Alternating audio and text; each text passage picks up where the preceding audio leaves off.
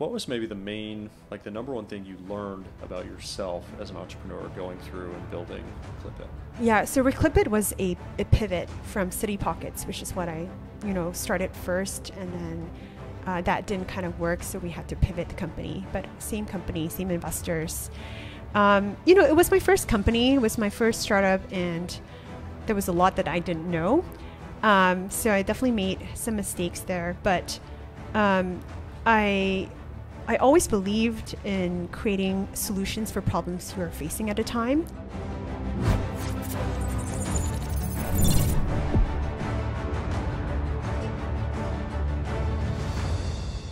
Welcome, Cheryl. Thanks for being here. So you've been you've been going at this for a long time. You've been mm-hmm. doing the startup founder entrepreneur thing for a while now. Over ten like. years, I think. Yeah, yeah. At, at, least. But it seems like you've you've accomplished so many things in such a short period of time. And I'm not I'm not just saying that. Like it's it's pretty fascinating. I'm excited to dive into it. Why do you keep going? Um, I I don't know. Inner drive. Um, maybe a chip in the shoulder a little bit for wanting to prove myself. Um, I think that's that's mostly it. yeah. But also, I guess the, the belief that I can really do something great, and when I do something great, then I'm like, I can do, I can do even better, like a greater job. So. Um, I always tell myself at some point I'll stop, you know, and relax, yeah. um, and I'll know when I feel like I've I've achieved it. I feel like I'm close to it this time around. So, yeah, I amazing. Mm-hmm. So I want to talk about. I I know you've you've now founded a, a few companies. You've been sort of early at a few companies. Um, which of the companies so far, in your mind, was did you find the most enjoyment doing? Hmm, the current one, really.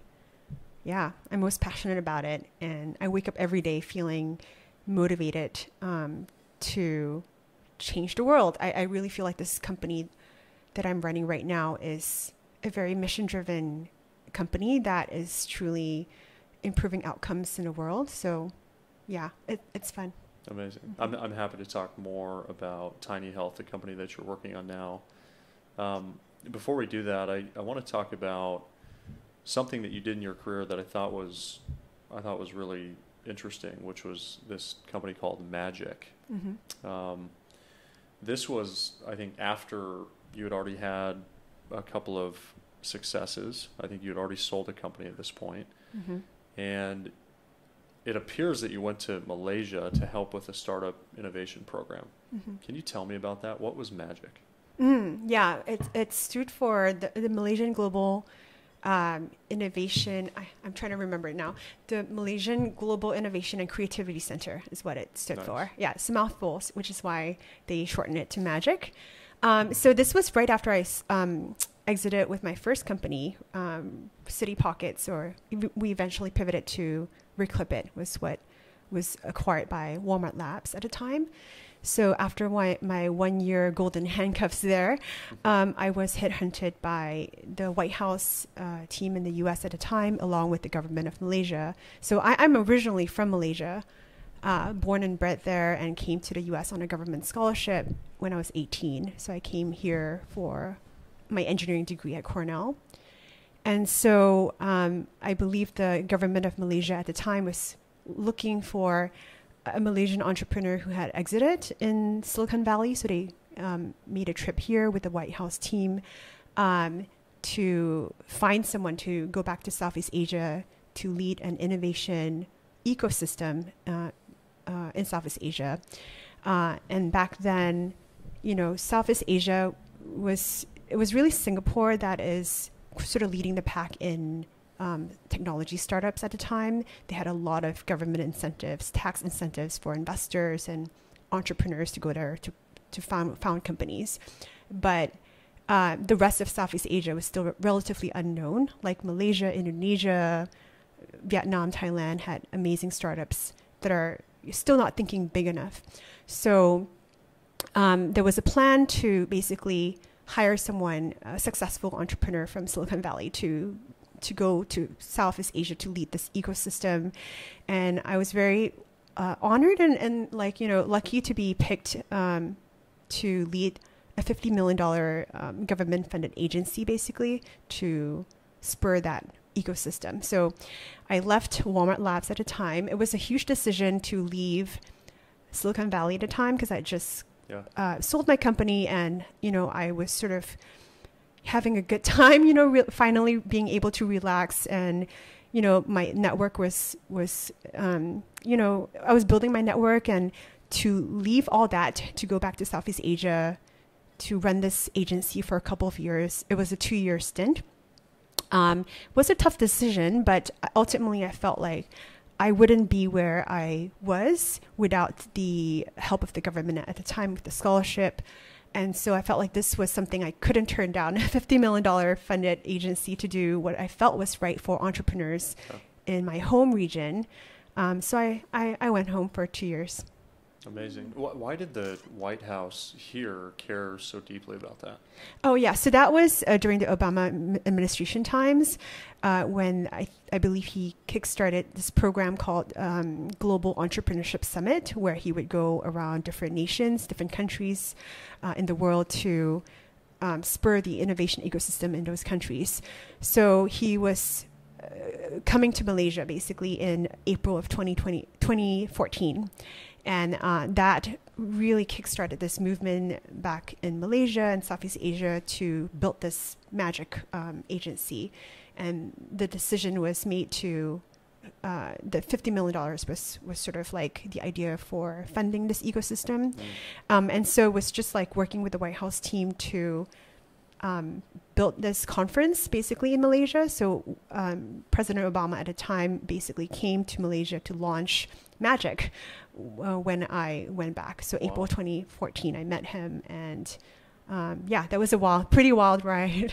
Yeah, Yeah. that's that's got to be wild. Mhm. Um, so this this was an opportunity you pursued more out of sort of passion and fulfillment Mhm. than like Well, more like giving back, frankly, Yeah. because I felt like I um, this was an, a chance for me to give back. You know, as an entrepreneur, um, I I had a lot of um, help, mentorship, and, and favors from a lot of other entrepreneurs, a lot of different uh, mentors, um, and so this was a chance for me to give back to my roots as well, where I, you know, going back to where I was born, and helping other entrepreneurs succeed. So yeah. yeah, different career track, but you know, it was always um, yeah fulfilling for me to have done that. When did you move to the states?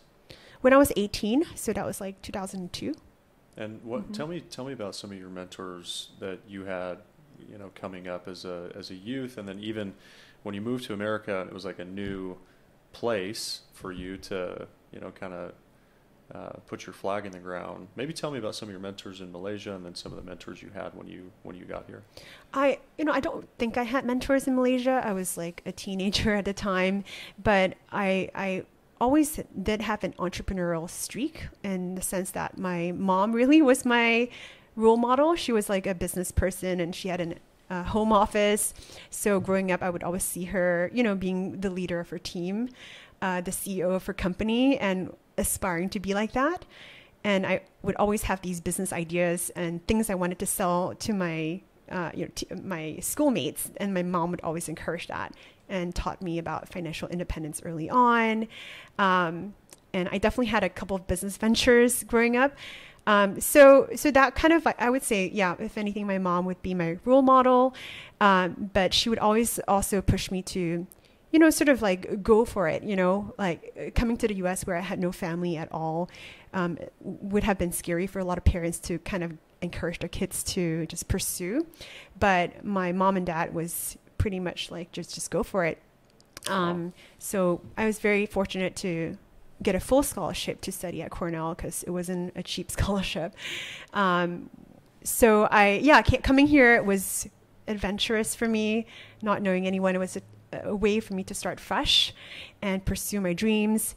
Um, I had always just like, you know, learn about the U.S. culture through Saved by the Bell, Beverly Hills 90210, and, and that was what I was exposed to when I was growing up, you know. And so coming here, it was kind of like, you know, the American dream, where if you work hard and if you are passionate about something and you put your mind to it, you can truly achieve, you know, anything that you want. And so I am kind of living that life now and having been here for nearly like I don't know how long has it been? Like over two decades now? You know it's it's definitely I'm now an American so I've gotten my citizenship here and yeah it's been a blast. That's amazing.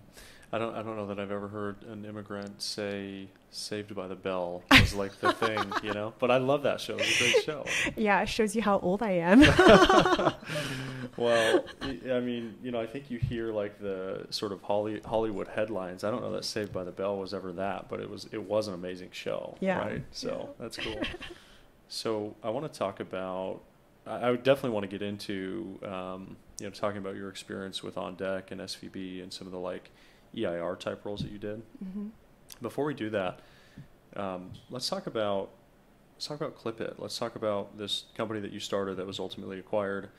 What was maybe the main, like the number one thing you learned about yourself as an entrepreneur going through and building Clipit?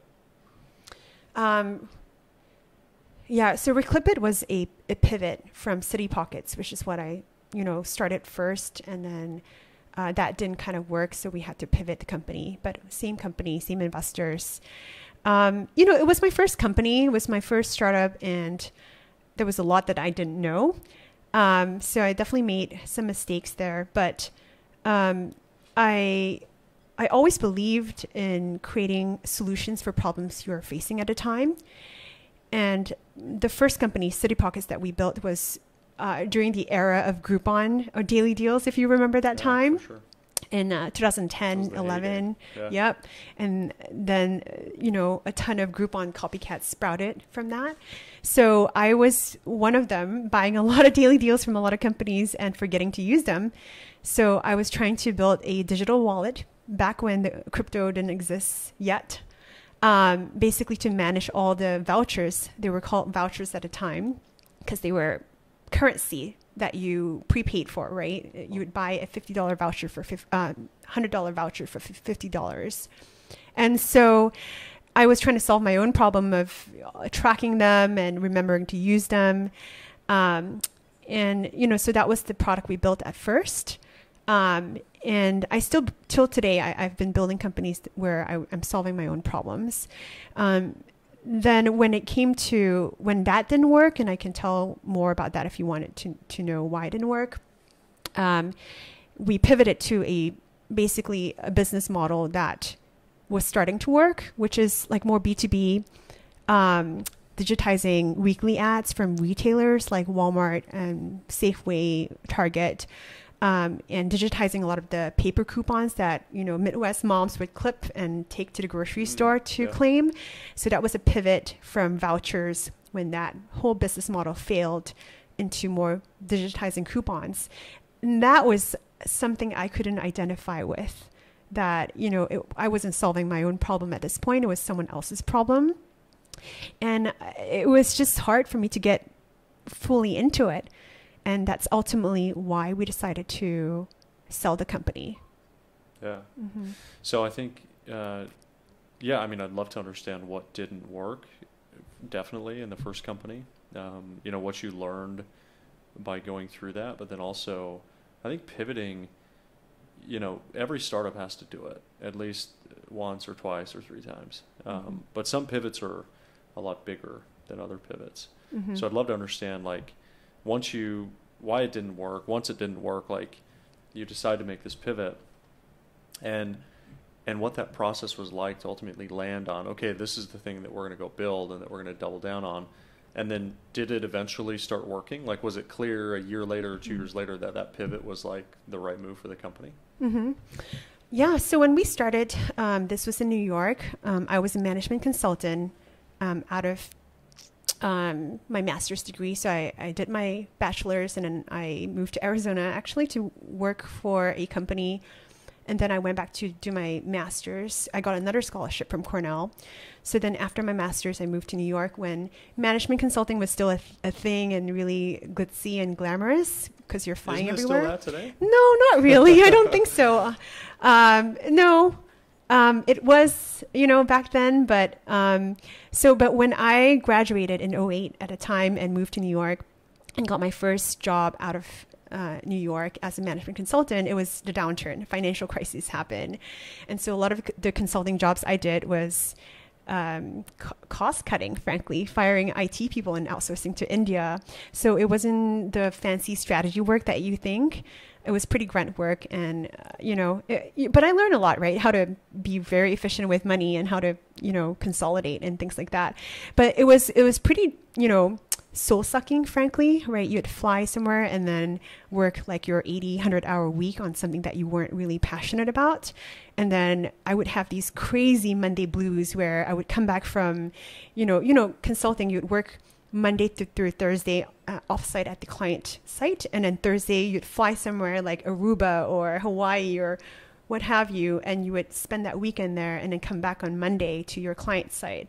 So my life was kind of like that for a whole year in 08, 09, but my Monday blues were so terrible that I I had some pretty severe like depression issues with that. And it, it finally just got too much that when the financial crisis hit and all these like you know Goldman Sachs and Morgan Stanley were laying off people and all that, I decided to quit and not live that life anymore and just wanted to found my first company got together with um, an old friend from Cornell who's an engineer who became my co-founder and built that first company. Um, it was, you know, sort of like, um, like I mentioned, the the craze of the daily deals at a time, and I just I had a ton of ideas I wanted to pursue, and this was just one that I um, kind of it was simple enough that it got me started. Um, in the end, it didn't, you know. It, no, winding back. So this was 08, 09. So when the tech scene in New York was not there yet, you know, it was the New York tech scene grew out of the financial crises, which is kind of what I wanted to mention. And so a lot of these fi- finance people and consultants left, right, to create startups. So we were in that Foursquare, you know, when Foursquare, Etsy, and all that were were just popping up, and New York startup scene was just buzzing. And so it was it was good timing as a female founder too. There, there weren't too many of us at a time, so it was easy for me to get a lot of media support, a lot of PR. Um, you know, chances to speak at a lot of panels and events and things like that to give talks mentor. I was kind of mentoring almost every startup weekend you can imagine at a time um, and learning at the same time. So that was great to be honest to see how that community was being built um, how a like you know how a startup ecosystem literally just sprouted right? And a lot of it was founders really coming together sharing their ideas being open about it um, where where before you know New York wasn't like that, right? Yeah. So that energy was fascinating, and that really helped me in that first um, product I built in City Pockets. Uh, we were on like ABC, Fox News, you know, for free, CNN, Wall Street Journal. We we did so amazing through PR, but ultimately when Groupon um, IPO'd in I think 2012, that whole space crashed, right, and consolidated. Um, and so, even though we were building something that was basically not a Groupon copycat, but a wallet to hold all these uh, daily deals, and we had a secondary marketplace too to resell coupons that you couldn't use or vouchers you couldn't use, uh, it was really hard to raise that next round of funding. We had raised a million for our seed round, and it maybe took me six months to raise that funding. Um, it was really tough as a first time entrepreneur, too. Um, and like you know i can go into that if you want me to but i got my first check um, kind of uh, coming out to south by southwest here in austin oh, actually. Yeah. and there's a whole story how i slept on my friend's Let's futon. Just do the whole story. Well i you know i was you know i quit my job as a management consultant right? Yeah. and i was living in a fancy apartment in gramercy at a time in new york. And i'm like you know all these like designer clothes. I'm like no i'm not gonna how am I going to be an entrepreneur and be scrappy if I'm living in this apartment? So I decided to rent my fancy apartment out and put all my fancy bags away and sleep on a futon in my friend's apartment in his living room.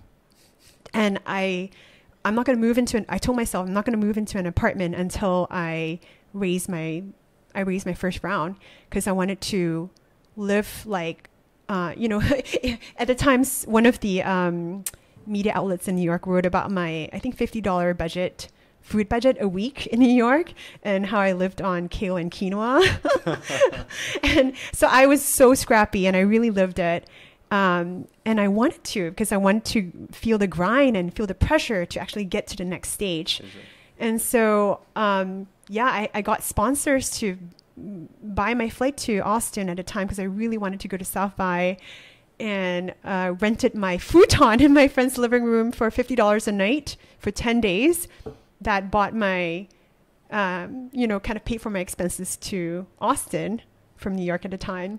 So it was that whole story, you know, and then someone paid for my badge to South by. Um, I pitched a few like VCs and angels here, and I got my first check, my twenty five, my first twenty five thousand dollars here, and that set me off. Uh, you know, once you get your first check, then it Yeah. becomes a little bit easier, right? As you know. Wow. So anyway, so that that really was my the scrappy days, and I still have a little bit of a lot of scrappiness now. Um, but you know, it, it was sort of like uh, tough times, but fun, you know. Anyway, fast forward, um, the you know, I realized that you know sometimes we we chase after like a shiny thing, new thing, and you you built something that is too reliant on a platform. So at a time for me, it was the Daily Deal platform, right? We were building a, a whole business model on top of Groupons and Living Social and all these companies. So when that crashed, then you crash along with it. Even though your my my pitch was we that we would start off with daily deals, but we're a digital wallet that held digital currency. So we'd eventually do gift cards, your airline miles, anything that had an expiration date that had value to it, right? It didn't matter because it was so tied to daily deals to begin with. So it was just no investors would want to even meet with me for my, for my next round. Mm. So that's what prompted us to make the hard decision to pivot into uh, a more, you know, stable business model, which is the old couponing industry, which I was less familiar with. Frankly, it was based on the affiliate model. So pennies, you get pennies out of every clip, right? Every uh, view. So something that I now looking back wish um, I, I actually didn't pivot to that I should have just shut down the company and start fresh on a new idea that I was truly passionate about. Um, you know, hindsight is always twenty twenty. You know, Yeah. at, at the time, I I really, you know, again, I took money from friends and family, and I really wanted to make sure I make it work. return their Yeah. yeah return their money. So I kept at it, and eventually we did return the money with the acquisition. So I'm I'm ultimately, um, you know, glad that I went through with it. It, Yeah. it was just really tough times, right? You know, yeah, I could have said like, let's just, you know, like shut this company down and build a new one, but then I would have disappointed those investors. Yeah, so, Totally, yeah. that's a great story. Mhm. So you're like you're like one of the OGs in the New York tech scene. You're like one of the first. Yeah, like I would say the, that first, the second wave of entrepreneurs in, in New York, and so I still have my network there. Uh, but then I, I did go, I did move to um, the Bay Area when I pivoted to Reclip It.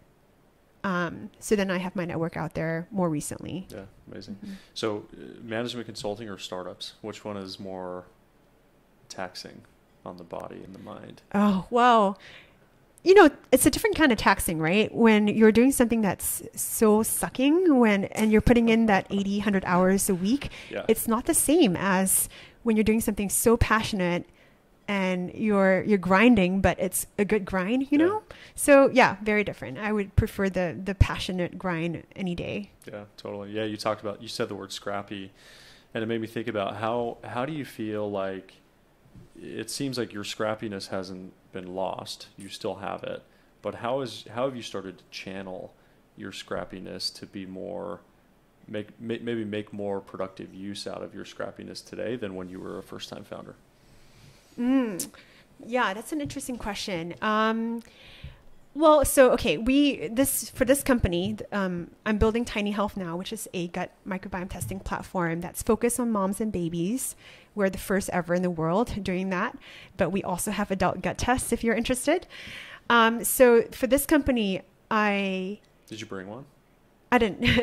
I, say, I should let's, have. let's do it. yeah, yeah, I can send you one. Okay, I'm gonna see you tonight. Yeah, yeah. Well, I'm actually not going home. Oh, so, you're not yeah. gonna go back. Okay. Yeah, yeah. It's it's a long trip up here. Yeah. Um, but so this company was, you know, my second venture funded company. I started a few, one nonprofit in between. Yeah. Um, so this time I wanted to be sure of this idea.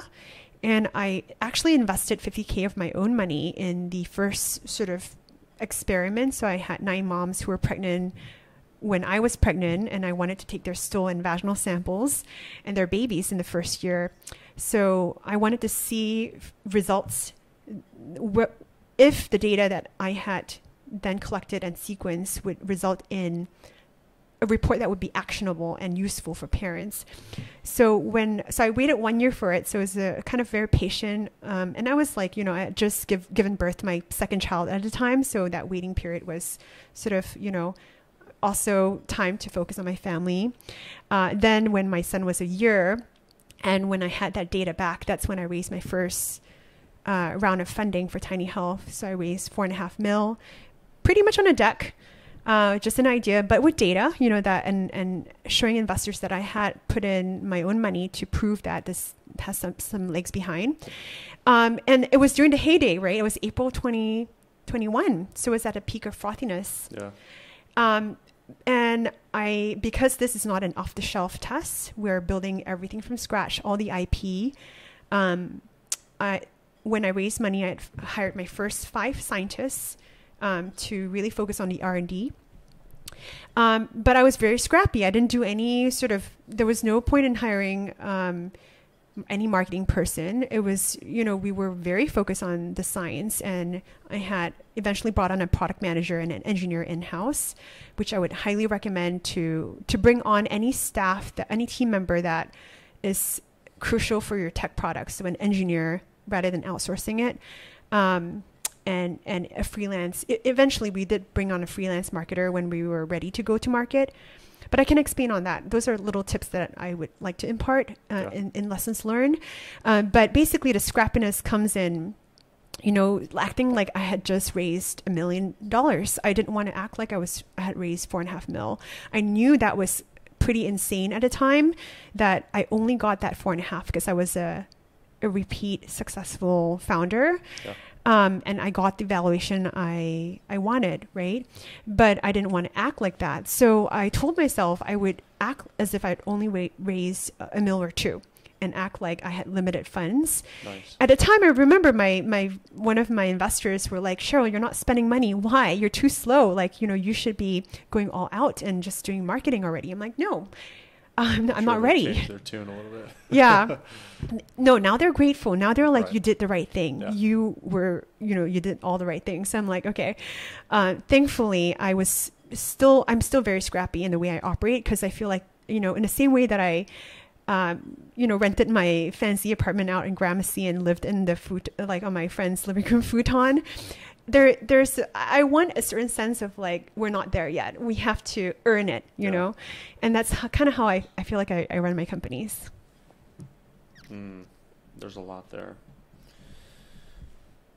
I love it. I think it's great. I want to talk about the company that you're working on because I think it's this is one of those companies that when you initially see it, um, you realize it's like part of the one percent of companies that are really doing something noble. Um, why did you decide to start this company? tiny health Yeah. out of my own experiences so, um, with my two births. So um, I I was an EIR at Silicon Valley Bank. Oh, actually, not not yet. So th- this is uh, I have so many lives. This was when I got pregnant with my first child. Um, when I was CMO at Hack Reactor, which is a coding boot camp uh, for JavaScript, the best in the U.S. I, dare say. Um, and so I, my baby was breached. So there was a high likelihood that I would have a C-section. So I was researching, you know, what that would mean for my baby's lifelong health. And I, I realized that, you know, the mom passes on her microbiome, her vaginal microbiome to the baby if the baby passes through that track. So a C-section would mean the baby would bypass that that route, uh, and that would mean they're not seeded properly with the microbiome of the mom. So the baby is sterile in the womb, and when they are born, that's when they get the first flush of microbes from the mom or the environment. So if they're not getting it from the mom's vaginal or um, gut, you know, through this some fecal fluid coming out when you're pushing, sounds gross, but it's how nature Yeah, intends for immune systems of babies to be built. Um, if you're not acquiring it from the mom, you may be acquiring it from the hospital environment, which tends to have more antibiotic resistant bacteria. Or if you're giving birth at home or whatever environment that is, right? So I, I realized that um, 80% of our immune system as an adult lives in our gut. It's dictated by what bacteria we do or don't have, whether it's beneficial or unfriendly. And it's being, you know, it's being developed in the first 1,000 days of life. So, the first three years of life, and more importantly, in the first few months. And so, if your immune system is so tied to bacteria in your gut in early life, then it's, it's so crucial. And then when I when you dig, you know, when you go through the rabbit hole and digging through all this research, you find that one in two babies or kids have a chronic condition like eczema, allergies, eventually asthma, um, and that that is now like there's a lot of science showing that it's linked to early life gut imbalances. And you know from modern lifestyle from increased c-sections from antibiotic use during pregnancy during labor um, in, in early life because a lot of kids get ear infection these days and get antibiotics all those things may be life-saving but they have unintended effects on the baby's microbiome and the gut development and that leads to a lot of chronic conditions. So it's very profound for me when i uncovered all this research during pregnancy actually and i was desperately trying to avoid the c-section uh, but in the end i i did have to have a c-section. I tried to labor and do it the natural way but you know just sometimes you just can't control these things right? Yeah. Yeah so you know but i did a lot of um, i also found papers showing that you can restore a baby's gut so I did something called a vaginal seeding. So you can put a gauze in your vagina for an hour before the, the C-section. And when a baby's out, you can um, sort of like swab the baby's mouth and face to mimic the, the vaginal canal. And there's two studies now showing that the baby who, who were swabbed looked more like a vaginally born baby. So that was like, that definitely sparked my interest. And um, I found papers showing that extended breastfeeding can restore a baby's gut even more than, um, you know, sort of like how the baby was born. Um, breastfeeding is is um, more impactful to the baby's gut health than than anything else. Um, so I did that. I there were certain strains of probiotics that you can give the baby to restore their gut, and not all probiotics are equal. So there's all these things that I was learning, and there's something called the C-section signature that a ba- that babies could be born with. Even vaginally born babies could have the signature, which means there's a certain pattern of bacteria in the baby's gut that are linked to these chronic conditions like eczema. So by one year of age, if you measure the baby's microbiome, and if that C-section signature is gone, then their risk for asthma would have been reduced by three times. So I was doing all these things, breastfeeding, um, making homemade kefir, probiotics, um, and I was trying to find a way to measure my baby's microbiome, and I couldn't find a baby gut test. You know, as as product people, founders, you want to measure. If you can't measure something, you can't improve it, right? And so, I was looking for a gut test in the market, and all I could find were, adult gut tests, which I then learned was incomparable. You can't use what's healthy for an adult for a baby because the baby's immune system and gut is so immature. So I was just kind of like, you know, I was just, how, how is this not a thing? You know, if this is, there's so much science backing it um, that I decided when I was pregnant with my son that I would create this company because now I wanted to measure his microbiome in case I needed another C section with him. Because my daughter eventually did um, have eczema despite um, what I did, but it was very mild, thankfully. So I think some of what I did probably mitigated her um, her symptoms. And she has some food sensitivities. Um, but yeah, it's, it's you know like we we now have data on what her gut looks like, and I'm trying to heal her gut. Um, But my son then was vaginally born at home. So I, like, this is the April 2020 in the middle of the pandemic. Um, and I chose a home birth this time because I had a couple run ins at the hospital, being given antibiotics that I didn't need, you know, at a time that I, I just kind of decided that I wanted to try the home birth route.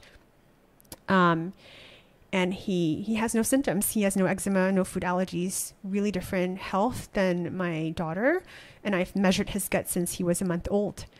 Um, so that, that kind of, my, my journey made me feel like I was that mom reading all these research papers and taking my kids' health in my own hands.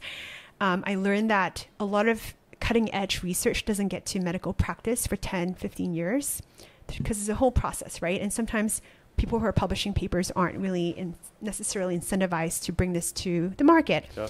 So I think we, you know, entrepreneurs like us have the opportunity to um, really bring these this cutting edge science to life and we want to be the company who can empower parents to know what's happening in their, their kids' gut, their baby's guts, and get to the root cause of things. You take a baby with eczema to a doctor and they'll likely prescribe steroids or, you know, prescription drugs and it's it's it's rare that a doctor has, you know, the nutrition angle or maybe prevention angle. It's a lot about how do you mitigate the symptoms, but I want to get to the root cause of it. And through all my research, the root cause is imbalances in the gut. And it's so important for their lifelong health that why wouldn't you want to, you know, impact and restore your baby's gut um, before, you know, your symptoms get worse? Pretty amazing. Uh, thank you for sharing that. What what are, where's the company at today? You have a do you have a product that's out to market that is available for people to buy to Mhm. where, where are you at today? Yeah, so I, I mentioned earlier, I, um, this was an idea in April 2021 when I raised my funding. It took us one whole year to complete that R&D. Um, so we launched our product in April 2022, so 11 months ago. Uh, it's been almost a year, and we just crossed our one mil revenue mark, which Nice, I'm really congrats. proud of. Um, I don't think, you know, my previous company had not making that much money. So it definitely feels good that we've, it feels like there's a huge demand for this product from parents and we're truly helping them. Uh, we've been profitable um, with every kit that we sell. Um, We've been growing 40% a month over month since we launched.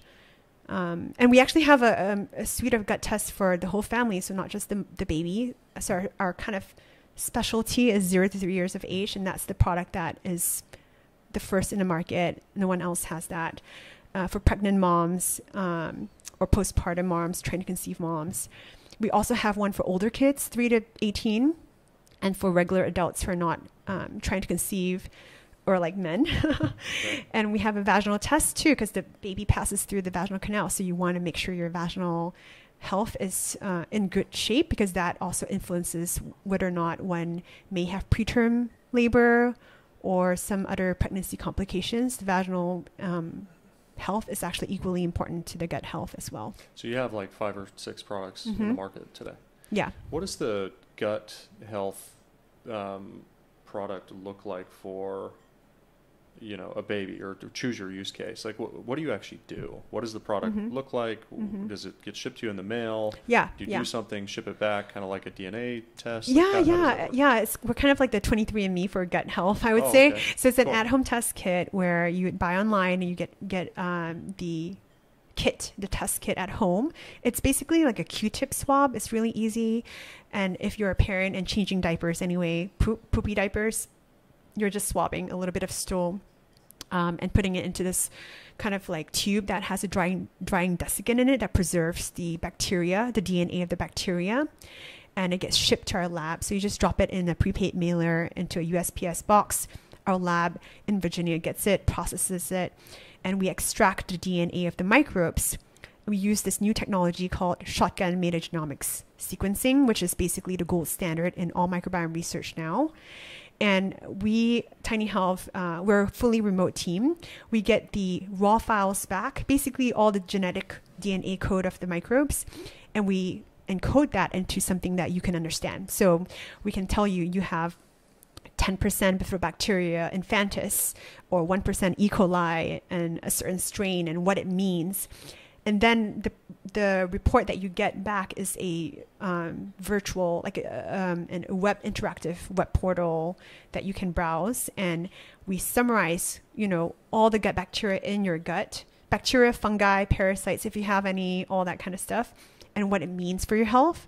So, you know, we can tell if you have good metabolic health, um, if you have any um, bacteria that's associated to poor sleep, constipation, a lot of these these digestive digestive system um, kind of issues. Uh, so we have all those for adults, but for babies, basically the science is stronger for babies because they're the only diet they eat is really breast milk, right, or formula. And that's a different story. Formula fed babies have a slightly more diverse microbiome, which you don't want in a baby. You want as low diversity as possible. Mm. So when we eat, our microbiome becomes more complex based on our diet, our supplements, our lifestyle, whether or not you have dogs or pets, and how much nature you're exposed to influences our microbiome. For a baby in the first six months, they're pretty much not exposed to a whole lot of things. So their microbiomes are very simple and very low in diversity. And therefore, the science there is stronger for what should be there and what shouldn't be there that associates with health, good health or disease. So that's why it's it's so such a no-brainer why this product should exist for parents because there is something truly that you can do about it uh, in terms of we're very empowering when it comes to breastfeeding because when a mom you know you can you you kind of know that breastfeeding is is good for the child but you it's a it's a, a concept right you you you Yeah, know you, don't understand why. yeah you, you can't Yeah. see tangibly but when you see your microbes continuing to transfer through that breast milk to your baby Mm. and it, you're you're seeing if you measure the mom's gut and you measure the, the baby's gut you can see that same strain going to baby from the mom Yeah. it's really empowering and you see it pushing out a lot of bad bacteria so with the c-section most c-section babies have uh, like i said hospital antibiotic resistant bacteria so the e. coli's the klebsiellas salmonella type bacteria strains. And it could dominate the baby's gut when there's no protective bacteria in the baby's gut. And through breastfeeding you see that mom's good bacteria if she has them pushing out the crowding out the unfriendly bacteria. So that whole shift that you see from measuring the first sample into the next sample is really motivating for breastfeeding moms for example or if even to reduce the guilt in um, parents who had just been through a c-section or antibiotics Wow. um, so yeah, like and and kids who have eczema, a lot of these um, chronic conditions, they do come in, and we do often t- detect a lot of bad bacteria in their guts, and a lot of moms now give probiotics to their infants, but some infants don't need it. There is actually such a thing as over supplementing with probiotics. Too much of good, a good thing keeps diversity out.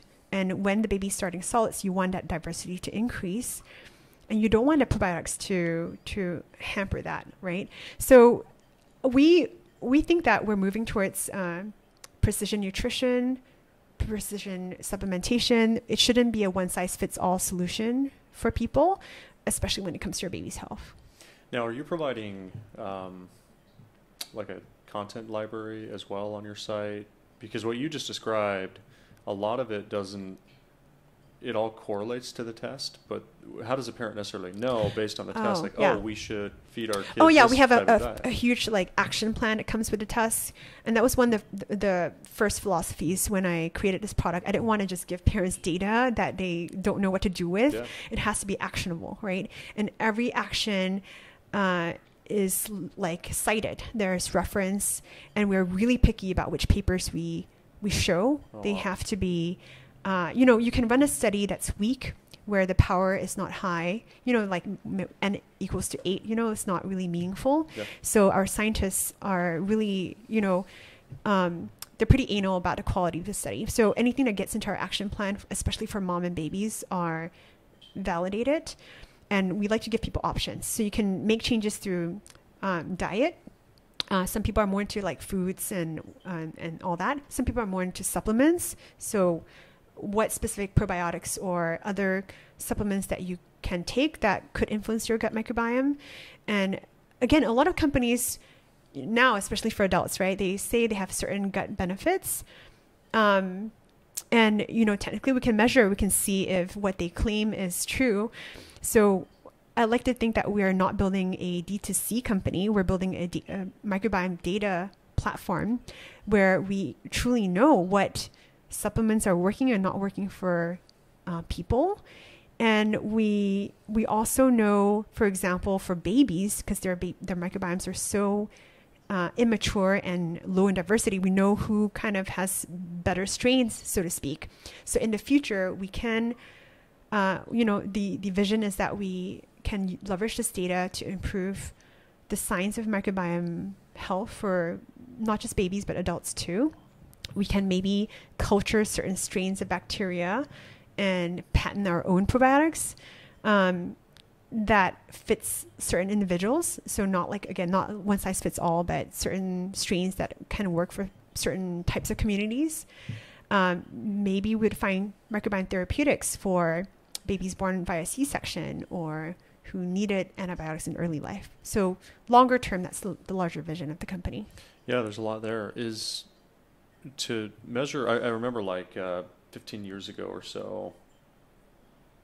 Um, yeah, so, something like that. 15 years ago, I remember I had a friend whose mom was really into health, and I was having some stomach-related issues, and I remember she asked me what my what my blood type was, and I told her, and she pulled out this little card, and on the card it had every blood type, and it had foods that that blood type didn't do well with, right? Hmm. So like there was like 20 or so foods on each of these blood types, and we reviewed the foods, and she's like, "Which of these foods do you eat on a regular basis?" And it was tomatoes was one that I loved. I ate them a lot. It was like my favorite vegetable, right? Mm-hmm. Or Fruit. fruit, depending on who you ask. I think it's a vegetable still.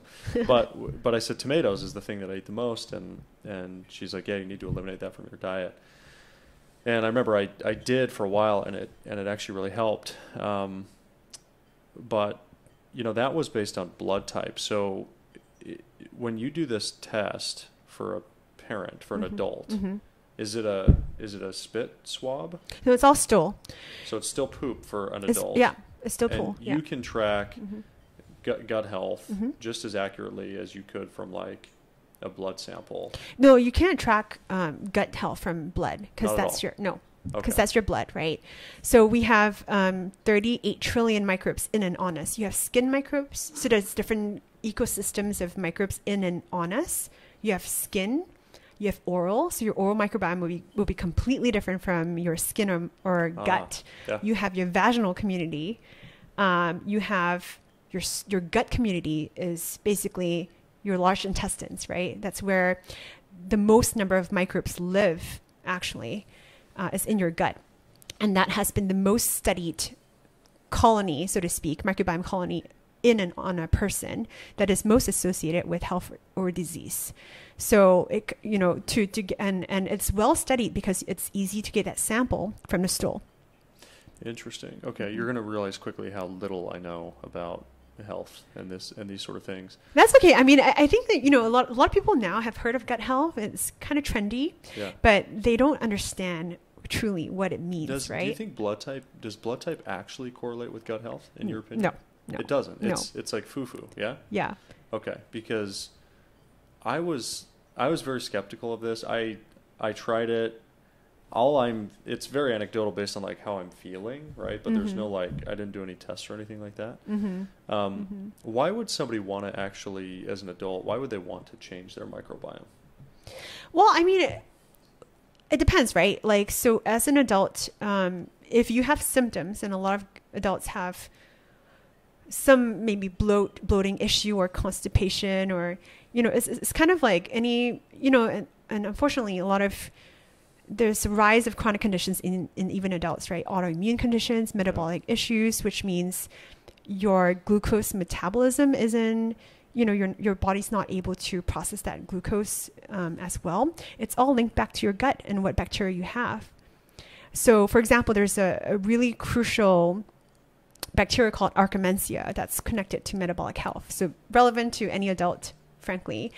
Um, if you if you don't have that, then your your metabolic health is not as good. So, for example, my husband has Akkermansia, and when he eats, so we have a CGM too that we wear from Levels Health.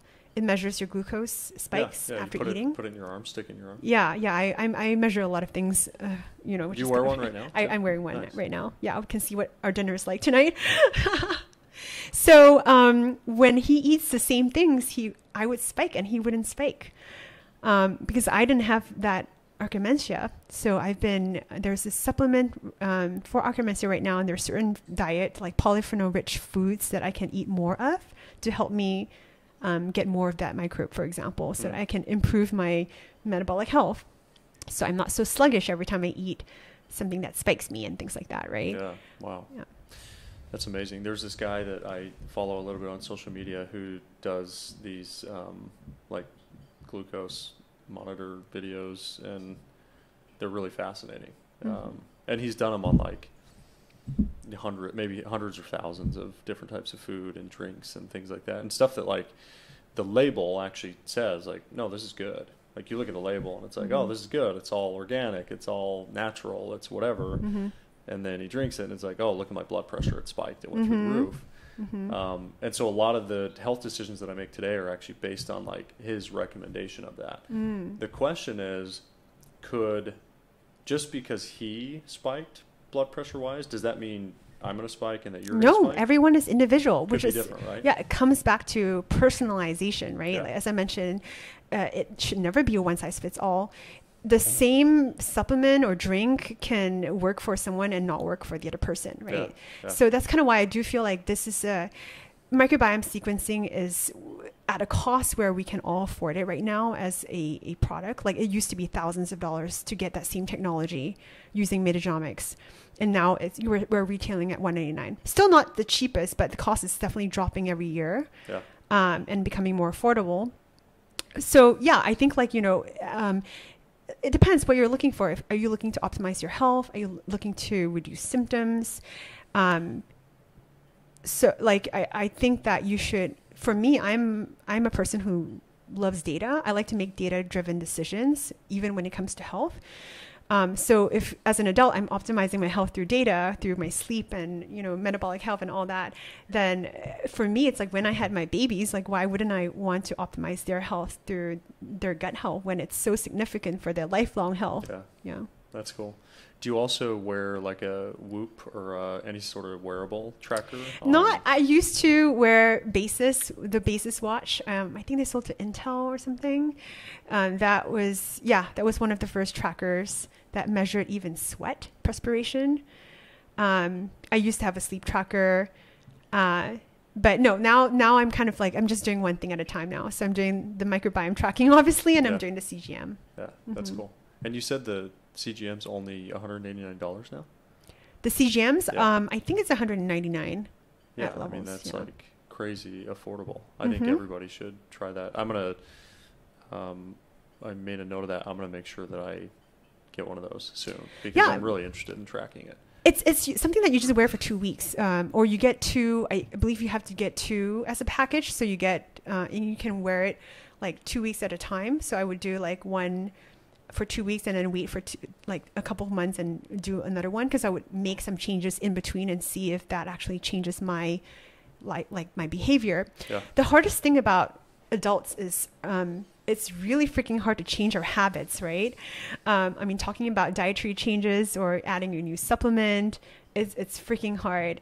But I believe in real time data, seeing that like data um, from your own like metabolic health, your glucose spiking, or your gut microbiome uh, with, with health insights motivates you to make those changes yeah, versus just reading about something. I know I, I, I Yeah, shouldn't be drinking alcohol. I know I shouldn't be eating processed food, but you know, you succumb to it, right? So having this keeps me on my toes and reminds me uh, to keep up with it. Um, and, and yeah, so that's kind of why I, I, I do believe in um, tracking your own data. amazing. Um, I want to. We're gonna wrap here soon, but I, I definitely want to touch on one more thing, which is that I, I, I want to ask you about top founder qualities. You were, uh, you have a you have a VC that's a partner to you named Ariana Thacker, and she wrote a post on LinkedIn when they made the investment in Tiny Health, and she stated that you were three things: you were laser focused, you were high integrity, and highly strategic. Um, do you believe those are your three top qualities as founder? And in addition to that, what do you think uh, the best founder qualities are? Wow, that's a loaded question.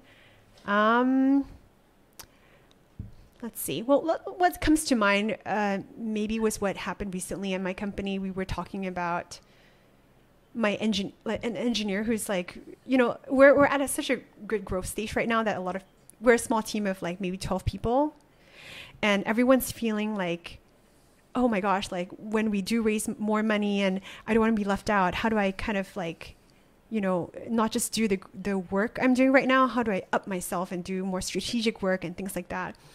Um, and, and basically I was kind of like advising this, some teammates, uh, my employees that the, the best engineers or the best kind of teammates know when to, you know, pick technologies that we need in the, the, the right now, like the next year not necessarily two years from now, because we may not, you know, live to see two years. So, but you know, kind of understand the trade-offs that you're uh, that you're making now to make it work.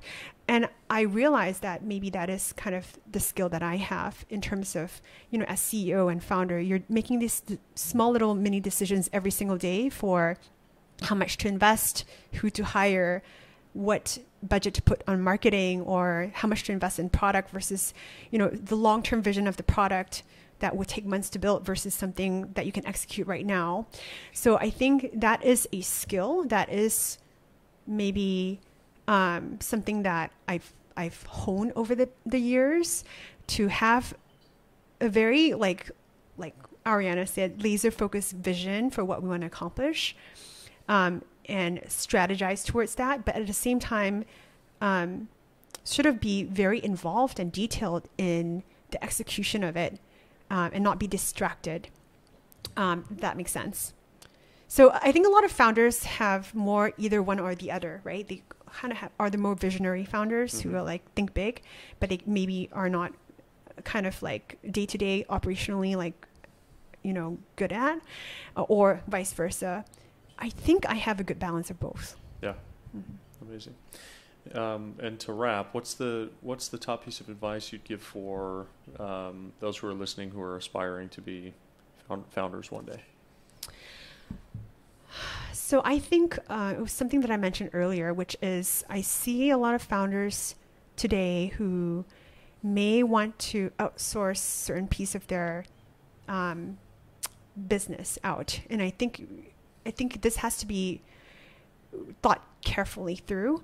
If you're building a technology company, I feel like it's it's so hard to outsource an engineer, like some engineer sitting elsewhere in a different country. Maybe if it's a technology enabled company, but even then, when we started, we we did feel like the technology is enabling the results portal that you're reading. Yeah. It's a content, you know, portal, right? But you know, having that engineer in house um, makes a huge difference in how quickly you iterate based on customer and market responses and you keep that knowledge with you right it's not kind of like with with an agency you're not retaining that knowledge so that was crucial when we were building that product um, similar with my scientists so at different stages of the company you really need to know when you should bring that in-house versus outsource um, even marketing, I see a lot of founders kind of like, okay, I'm just going to put 50K into a marketing agency and let them run it. But again, it's so removed from the core of your messaging, your product. I, we were able to like basically run marketing with so few dollars because we brought in a freelancer who executed on our campaigns. And because I was executing it so closely with her, that all I was able to retain all that. Now we're at a stage where we are hiring an agency, but I feel like if you hire, if you bring in outside outsourcing too soon, you you lose a lot of learnings at the beginning. So, uh, yeah, that would be my my advice. Amazing. Well, mm-hmm. thank you for coming on the show. Thanks for opening up. This is You're doing your great work. It's very noble, I might say. So excited to have dinner tonight, and catch up more. Thank you. Thanks for having me. Thank you for watching another episode of the Roller Coaster Podcast. It was amazing to have Cheryl Sew Hoy on the podcast today, the founder of Tiny Health. And the three key learnings that we learned from today's podcast with Cheryl were the first one, all about scrappiness. Uh, even if you're going to do your first first company, second company, third company, that scrappiness cannot go away. You have to continue to have it. You'll start to be able to refine your scrappiness over time, so you can hone it in and use it to your advantage. The second one is you got to earn it. If you're going to be a founder, you got to act like a founder. I love the story about sleeping on a cot after you know having lived in a really nice apartment in New York City, and just scrapping and getting by and acting like a founder. I think that's crucial. And the last one is key roles. They just need to be insourced. Uh, things like a CTO or a CMO, it's really difficult to outsource those. They're not going to care deeply about the product that you have, and they're not going to really understand the vision and the culture of the company and be able to relate to that and, and build for the future. So, thank you again for joining another episode of the Roller Coaster Podcast, and we'll see you on the next one.